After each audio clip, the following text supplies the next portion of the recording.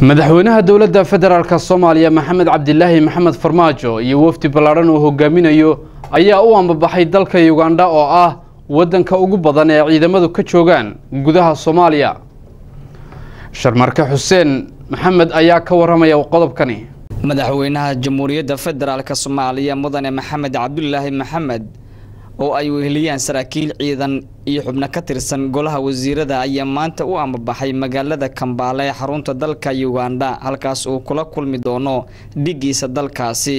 Socdaalka madaxweynaha ayaa la sheegay inuu salka ku hayo sidii uu taageero u raadsan lahaa howlgalka militaarka ee ka bilowday soomaaliya si al-shabaab loogu saaro gobollada ay ka joogaan dalka soomaaliya madaxweyne farmaajo ayaa la kulmi doono dhigiisa uganda waxa uuna ka dalban doonaa in ay dhaqaaqaan ciidanka ka jooga soomaaliya oo ay ka qayb qaataan soo afjaridda al-shabaab kadib qaraxii ka dhacay isgooska soobe ee magaalada muqdisho. Sidoo kale madaxweynaha jamhuuriyadda soomaaliya ayaa safarkiisa uganda kadib waxa uu u sii gudbi doonaa dalalka jabuuti iyo ethoobiya oo sidoo kale ka dalban doono dowladiisa in laga taageero dagaalanka al-shabaab. Madaxweynaha soomaaliya ayaa isku dayaya in dowladiisa ay ka jawaab celiso masiibadii ka dhacday soomaaliya afar iyo tobankii bishan aan ku guda jirno oo galaafsatay boqolaalo shacab ah.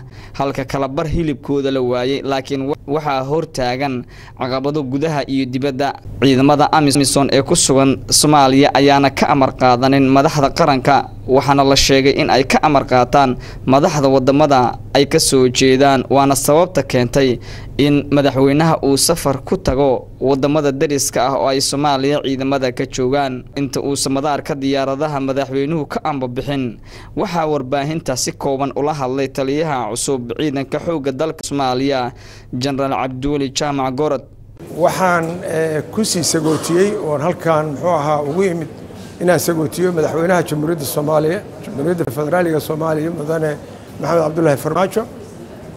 Asagoo u ambabaxahaya muxuu ahaa dalalka aan saaxiibka nahay oo iyagu mar walba muxuu ahaa u taagan inay ummadda soomaaliyeed gacan ka siiyaan dhibaatooyinka amniga xaggiisa ay ka siiyaan iyo humanitarianka ama xagga maaragtay bini aadamnimada ka siiya ayuu u teghayaa wuxuuna kala hadlahayaa oo uu rabaa inuu ku baraarujiyo inay labanlaabaan muxuu ahaa gacantii ayna siin jireen.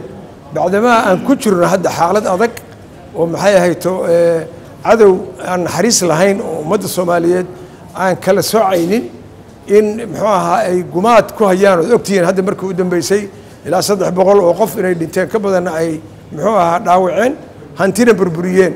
Marka cadowgaasi waxa weeye cadow caalamiya weeye sidaas daraaddeed in adduunka lagu baraarujiyo oo inta ay og yihiin maahne intaana waan ognahay oo ka warqabno ilaa annagaa dhulka joogne uu muxuu ahaa madaxweynaha iyo waftigiisu ay kala hadlaan. Halkaasna waxaan rajaynayaa inay dowladaha uu u tagayaa iyo caalamkuba inay ku baraarugaan. Arrinta masajka uu wada madaxweynuhu inay tahay mid dhab ah oo aan maanta la dhayalsan karin.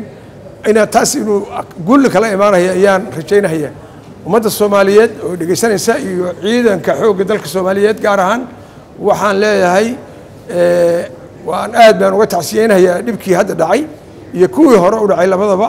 Intii ku dhimatay ilaahay ha u naxariisto. Inta muxuuha ku dhaawacantayna ilaahay ha buskiyo sharmaka xuseen warbaahinta s b c magaalada muqdisho